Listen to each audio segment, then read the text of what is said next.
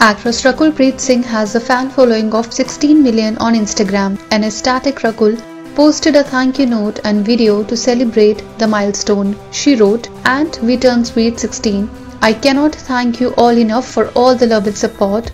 Here's to making sure I give my best every day to never disappoint you. Promise to keep working hard. Lots and lots of love to each one of you. Stay safe. Rakul on Tuesday wrote on her Instagram account that she has tested positive for COVID 19.